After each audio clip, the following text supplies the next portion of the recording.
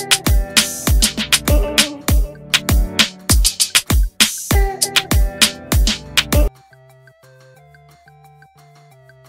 องใช้ชีวิตต่อไปยังไง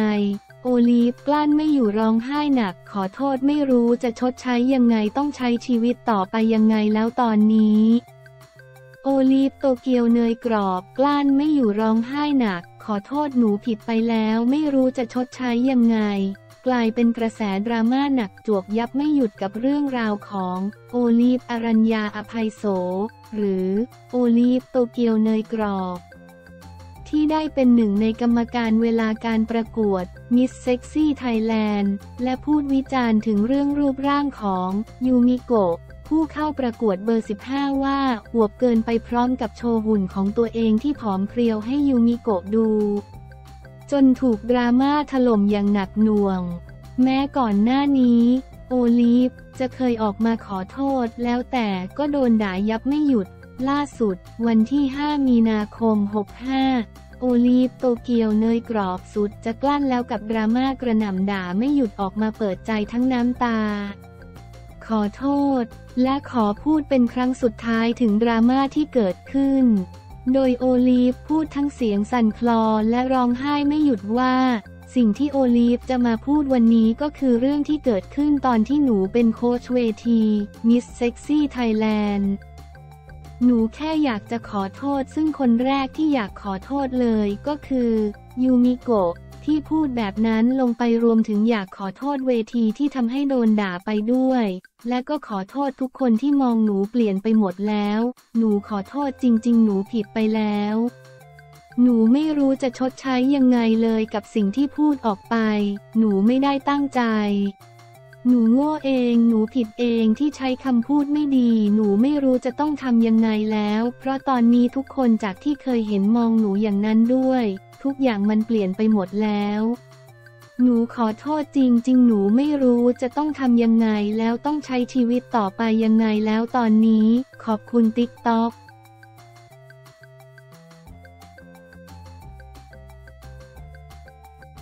ด็อกเตอร์ป้ายแดง แอนจักรพงษ์คว้าปริญญาเอกสวยรวยเก่งครบเครื่องอีกก้าวสำคัญของการประสบความสำเร็จในชีวิต แอนจักรพงษ์จักราจุฑาธิบดิ์บิ๊กบอส แห่งบริษัท JKN Global Group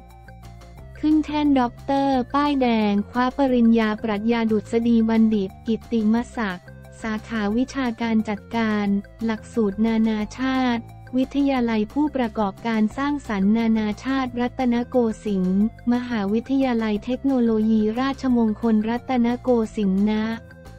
หอประชุมมหาวิทยาลัยเทคโนโลยีราชมงคลธัญบุรี โดยแอนจักรพงศ์โพสต์รูปภาพความภาคภูมิใจพร้อมแคปชั่น Thank you for an honorable doctorate degree in international business management from the รัตนโกสินทร์ International College of Creative Entrepreneurship ราชามังกาลา University of Technology รัตนโกสินทร์ RMUTR which was won by the Privy Council on the behalf of His Majesty the King to me. Your recognition over my service inspire me and JKN Global Group to continue pursuing excellence and making an impact to the world. เครื่องหมายสี่เหลี่ยมแอนเนจักราจูต้าทิพย์ เครื่องหมายสี่เหลี่ยม JK18 ทั้งนี้เจ้าตัวยังได้เขียนเล่าความในใจถึงการออกจากคอมฟอร์ตโซนของตนเองอีกด้วยว่า Don't be afraid to step out of your comfort zone that's where life begin Don't be afraid of learning again if you made mistake knowing how to turn pain into power is very important. Learning how to change or adapt during disruption is compulsory. Owning the power of force for change is the incredible act of transformational leader เครื่องหมายสี่เหลี่ยมแอนเนจากราจูต้าทิพย์งานนี้ชาวเน็ตต่างชื่นชม แสดงความยินดีปรบมือให้อย่างรัวๆ ทางด้านข่าวสดออนไลน์ ก็ต้องขอแสดงความยินดีให้กับผู้บริหารคนเก่งด้วย ครบเครื่องจริง ๆ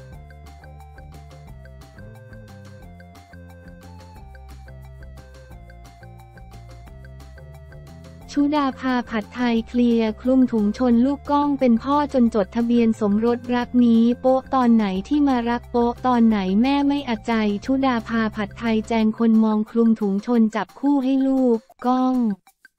ผยเหตุทำหน้าที่พ่อให้เจ้าสาวทุกอย่างกระทั่งจดทะเบียนสมรส น้ำตาไหลวิศวะหนุ่มหมอสาวเด็กดีทั้งคู่แก๊งเพื่อนรักชุดาภาจันทเขตมาพร้อมเพื่อนซีก้องปิยะและท็อปดารณีนุชมาเปิดใจถึงงานวิวา หมอเจอาลูกสาวผัดไทยกับจินโจ ลูกชายชุดาภาในรายการคุยแซบโชว์ชุดาภาเผยถึงลูกชายที่คนไม่ค่อยรู้ว่ามีลูกชาย เพราะลูกชายก็ขาวตี๋ไม่เหมือนแม่ นึกว่าขอมาเลี้ยงจริงๆ เคยโพสต์ตอนลูกไปเรียนเมืองนอกเคยไปออกรายการตอนลูกเล็ก แต่คนไม่ค่อยรู้กัน ส่วนกล้องที่มาทำหน้าที่พ่อ แต่เกือบจะไม่ได้ทำหน้าที่แล้ว ผัดไทยซึ่งวิดีโอคอลมาร่วมในรายการเล่าว่าวันนั้นพ่อ JR เขาติดงานพ่อเขาเป็นนักบินต้องไปบิน ลาไม่ได้ตอนแรกพ่อเขาไม่สบายใจ กลัวลูกไม่รักเขาเลย จะมาแต่เจอาเขาเข้าใจ เขาเลือกนาก้องให้เป็นคนส่งตัวเจ้าสาวแล้ว เพราะพี่ก้องเริ่มทำทุกอย่างวงจรความทรงจำเขาเป็นพี่ก้องผัดไทย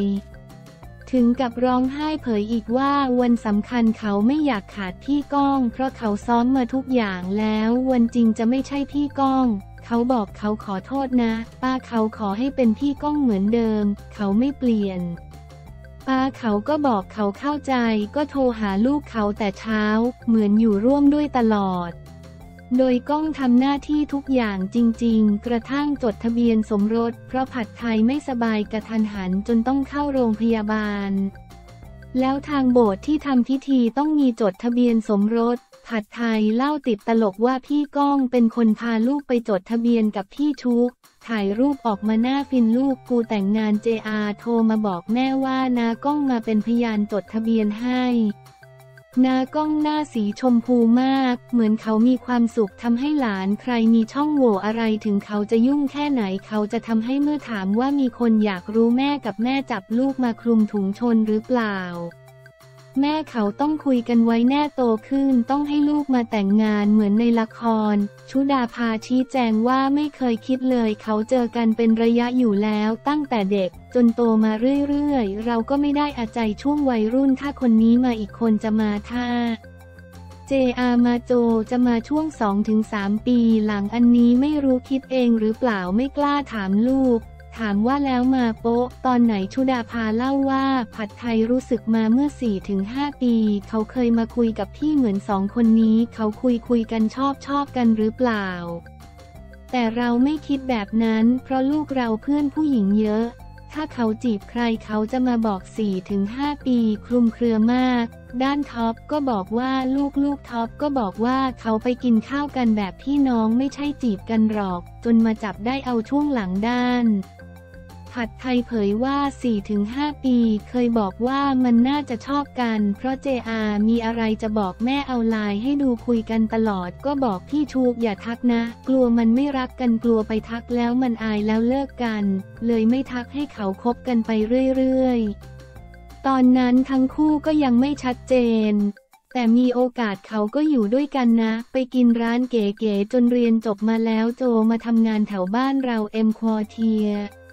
เขาก็นัดกินข้าวเจอกันบ่อยตอนแรกไปสามคนมีหลานอีกคนพันชี่ไปด้วยหลัง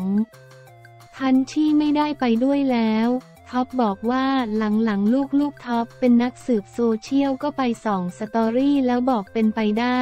ถามถึงวันที่เขามาสารภาพชุดาภาเผยเขามาสั้นๆโจ มีอะไรจะบอกก็ถามเป็นแฟนกับเจเหรอลูกเขาบอกครับ คำเดียวเลยด้านผัดไทยเล่าว่าเจบอกแม่ทำไมเจอโจหลังๆชอบมาแตะมือหยิบของผ่านมือเหมือนจะใกล้ตัวมากขึ้นแม่บอกโจเขาชอบเธอเจบอกไม่แน่ใจ แต่สองคนนี้เขาเป็นคนตรงไม่นานเขาก็ขอลองคบกันดู เรารู้ว่าเป็นโจลูกพี่ชูเราไม่มีปัญหา เรารักโจอยู่แล้ว เรารู้เขามีวินัยไม่ต้องระวังอะไรลุ้นกลัวฝันไม่เป็นจริง พอรู้ว่าเขาคบกันจริงจังก็ดีใจ เราถูกใจลูกเขยด้านกล้องปลื้มใจ เพราะทั้งคู่เป็นลูกชายลูกสาวของเพื่อนทั้งกลุ่ม คนหนึ่งหมอคนหนึ่งวิศวะแมทชิ่งกันเป็นเด็กดีทั้งคู่